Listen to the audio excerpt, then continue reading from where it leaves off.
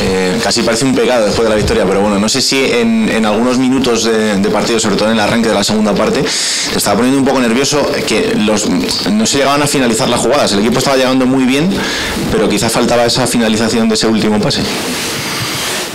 Sí, la verdad que bueno, ha habido momentos buenos por, parte de los dos equipos y, también errores como, bueno, como en todos los partidos. Y la verdad que muy, muy satisfecho por sobre todo porque veníamos de un partido que tenía que ser ganar sí o sí por la presión que nos habían metido Huesca y, Sporting que habían ganado y, bueno, eso que el jugador asuma ese reto como, como lo han asumido hoy, bueno, no es fácil y, contento por eso, porque veo que el equipo tiene personalidad y sabemos que dependemos de nosotros. Hay que, hay que ir pasito a pasito, jornada a jornada, pero, pero tener la, tranquilidad de, que ahora mismo todos los equipos están por detrás, entonces tenemos que mirar nuestro resultado, nuestra identidad, nuestro, nuestra filosofía, nuestro juego y para mí que el jugador hoy ha demostrado que está convencido de lo que hace.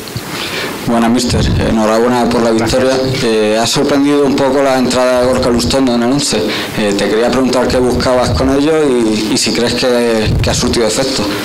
Bien, buscábamos salir a balón 2 más 2, tener dos centrales y, dos medios centros para, sacar el balón y liberar un poco a Oscar y darle más profundidad con él. Eh, bueno, ha habido momentos que, que lo hemos hecho bien en la primera parte, otros que nos ha costado encontrar a ese, a medio centro, ellos apretaban con dos puntas y un tercer jugador que se descolgaba. Si a, Oscar le fijaba un medio centro, teníamos un medio centro libre nosotros, un 2 para 1. Hemos intentado buscar ese 2 para 1. Ha habido momentos que, ha, que ha salido para dar luego el pase adelante, otros que no. Pero bueno, en línea general es bien. Y luego también el trabajo eh, de estrategia, balón parado, que nos podía ayudar en el juego aéreo, aunque nos han metido un gol en, esas circunstancias, pero, pero bueno, eh, era por eso. Y bueno, contento por el partido de Gorka, como, como el resto de jugadores. Enhorabuena por la victoria, Michel. Eh, ¿Tienes la sensación, al margen de todo lo bueno que hace tu equipo, de que el Rayo está ya en ese punto en el que gana por, por inercia, en el que gana por pegada? Hoy yo creo que hemos hecho muchas cosas bien. Eh, también el rival y, hay que saber que el Tenerife es un equipo que, que, para mí que juega muy bien y sobre todo en ataque es un equipo que te genera mucho. Y, bueno, sabíamos lo que nos enfrentábamos era... Lo, bueno que, que veo yo es que el equipo dice, bueno, a intercambio de golpes. Vamos a ser capaces de asumir que nos pueden hacer daño o hacerlo nosotros. Más que fijarnos en cómo contrarrestarles a ellos, era cómo hacerles daño a ellos. Hoy era el partido así y ha salido de cara. Entonces, contento por eso, porque si ves la trayectoria del Tenerife últimamente, para mí el otro día con el Huesca, hasta, hasta la expulsión, es, mejor equipo que el Huesca en el campo. Y, era un partido complicado, es el tercer máximo goleador de la categoría. O sea, sabíamos del potencial que, al que nos enfrentábamos y, contento porque el jugador asume que, que hay que ir al duelo, hay que ir al, al todo nada. Y, y es que la competición es así, entonces, bueno, contento porque el equipo responde. Sí, Michel, dos cuestiones. Enhorabuena por el triunfo. Lo primero, eh, sobre los cambios. Eh, minuto 60, todavía con empate a uno, entra Armenteros por Gorka. Cinco minutos después 2 a 1. En el 72-73 entra Cerro por Bebé. Cinco minutos después cae el 3 a 1. ¿Cómo ha influido las sustituciones en, el devenir del partido? ¿Cree que le han dado un, nuevo ritmo al rayo, el ritmo que buscaba? Y al hilo de esto también, aparte de las sustituciones, el equipo rinde muy bien, aun cuando la semana pasada le faltaba Trejo por sanción, esta le faltó a Unai López, que estaba siendo clave. ¿Es la confirmación de lo que viene repitiendo todo el año, de que la plantilla que tenemos está enchufada en todos sus efectivos? Totalmente de acuerdo. Eh, el otro día lo dije que para mí los cambios en Barcelona eh, aportaron muchísimo. Gorka, eh, Armen y, Manucho que salieron, cada uno de los minutos que salieron espectacular el trabajo contra un rival como el Barça que, nos quitó la pelota y nos hizo sufrir mucho.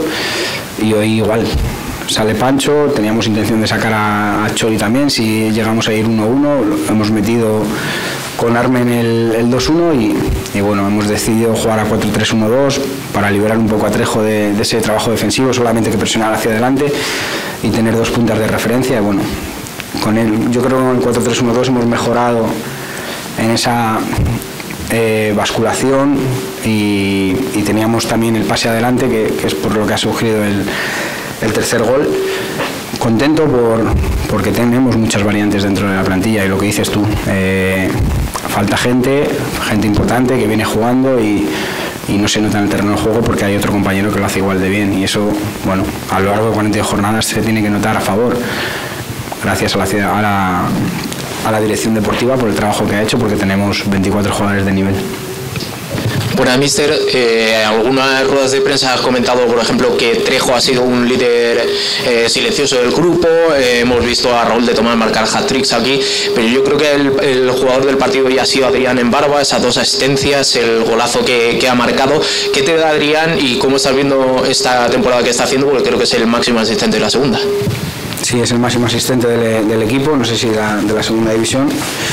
Te da mucho trabajo y te genera muchas cosas. Eh, Adrián quizás en los últimos partidos está perdiendo ese, ese punto de tranquilidad por no marcar, que, nosotros le decíamos que, que, daba igual porque el trabajo es el mismo y aporta siempre cosas al equipo. El otro día le provoca un penalti contra el Barça B. Entonces él genera muchísimas cosas. Tiene que empezar a, a vivir tranquilo, con esa sensación de que un día no marca, que no pasa nada y esa tranquilidad que él tiene eh, le va a hacer mejor futbolista, pero nos aporta muchísimo, muchísimo, muchísimo trabajo y en, y en ataque muchas alternativas. Jugador profundo, jugador que tiene, que tiene tiro, que tiene buen centro.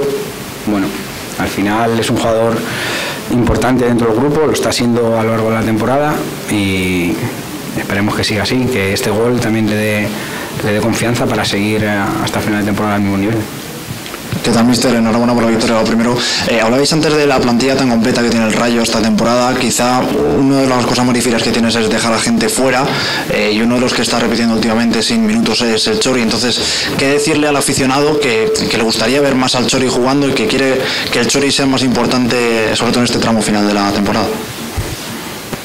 bueno, que al final la decisión es nuestra, del cuerpo técnico, y buscamos lo mejor para el equipo. Nosotros pensamos siempre en cómo eh, hacer daño al rival, vemos los entrenamientos que tenemos, todo el equipo está enchufado, no tengo al revés.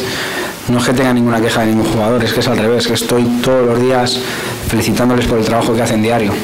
El Chori y los otros 23. Y luego la decisión es nuestra de quién juega, quién no juega, quién, quién sale del banquillo, quién no sale, quién va convocado, quién no.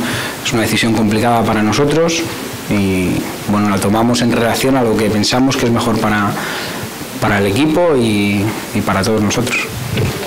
Michel, eh, ya sí que estamos a cinco jornadas para el final. Eh, eh, no sé qué mensaje, ahora que ya hay que apretar y pedalear, ¿qué mensaje le dices tú a los jugadores para este tramo ya definitivo y decisivo? El mensaje es el de, el de todos los días que mañana hay que entrenar y hay que hacer el mejor entrenamiento posible. Pensando ya en Granada, en ir a buscar allí los tres puntos. Y, nada más que eso. No, la mente está puesta en Granada ya y de ahí no nos vamos a salir. ¿Qué tal, Michel? Carlos Vicente de Radio Marca. Lo primero, enhorabuena por la victoria. Y lo segundo, si no me falla la memoria, desde el día de Reyes, desde el día 6 de enero, el equipo no pierde como local. ¿Cómo se hace de Vallecas un fortín? Bueno, la verdad que entre la afición y el equipo hay una comunión perfecta. Necesitamos ese aliento de aquí al final. Espero que, bueno, espero no seguro que, va a ser así, que Vallecas va a ser una olla presión a favor nuestra y, eso es importantísimo. El jugador se siente, se siente muy respaldado dentro. Y luego, pues bueno, el nivel de la plantilla es, es muy alto. Ya he dicho antes que gracias a la dirección deportiva se, ha hecho una muy buena plantilla y tenemos nivel para competir en esta categoría contra cualquier rival y si hacemos las cosas bien podemos ganar. Y eso, bueno, es tranquilidad, es confianza y hace que el jugador también se sienta bien dentro del día a día y sobre todo dentro de la competición. Hola, mister, aquí eh, Chema Castillo del día después. Esta semana estamos preguntando, aprovechando la salida de Iniesta, que se marcha del, del, Barça, estamos preguntando a los entrenadores por tú, en este caso, con el estilo que tienes aquí muy determinado en el Rayo, aunque bueno, con la temporada. No, Iniesta aquí, ¿no? no, no, te iba a preguntar, bueno, en este caso, si como entrenador, aquí en el Vallecano, preferirías tener al mejor Xavi o al mejor Iniesta. Eso es como a quién quieres más, papá o mamá. No lo sé. Yo creo que hemos podido disfrutar de los dos muchísimo y, bueno, es, eh, gracias a, ellos tenemos un mundial, dos Eurocopas y bueno, eh, simplemente eh, a mí como entrenador y como jugador que, me he enfrentado a ellos siempre me, ha parecido, me han parecido dos jugadores excelentes en, en, lo deportivo y excelentes como persona y eso, pues bueno, es lo, más, lo mejor que se puede decir de ellos dos. Y, en este caso Xavi ya se fue y, Iniesta ahora también y, bueno, son pérdidas importantes del, fútbol español y del deporte en general. Siempre hay que valorar el tema personal y para mí son dos ejemplos a seguir. Eh, una pena que se vayan, aunque le seguiremos eh, disfrutando en la distancia y Iniesta en este caso pues que en el Mundial nos, nos haga disfrutar como, como hace siempre. Michel, eh, lo primero, enhorabuena por la victoria. Quería hacerte dos preguntas. Uno, preguntarte por Alex Moreno, que ha marcado ese gol que ha abierto un poquito cuando el partido quizás estaba en un momento complicado con 1-1. Y luego, ya que decías pensar ya en Granada, mm, ¿cómo afrontas una semana eh, jugando un lunes? Eh, ¿Cómo afronta eso el equipo y, el saber que tus rivales van a jugar antes? Bueno, como esta lo han hecho también Hoy empezábamos el, partido siendo terceros y el equipo lo ha afrontado de una manera eh, con mucha personalidad y con mucho carácter. Y no me preocupa jugar, jugar los últimos, no me, preocupa el, resultado de los demás porque dependemos de nosotros mismos. Entonces solamente nos tenemos que preocupar de, nuestro día a día, de nuestro trabajo y de cómo, cómo hacer daño a la granada.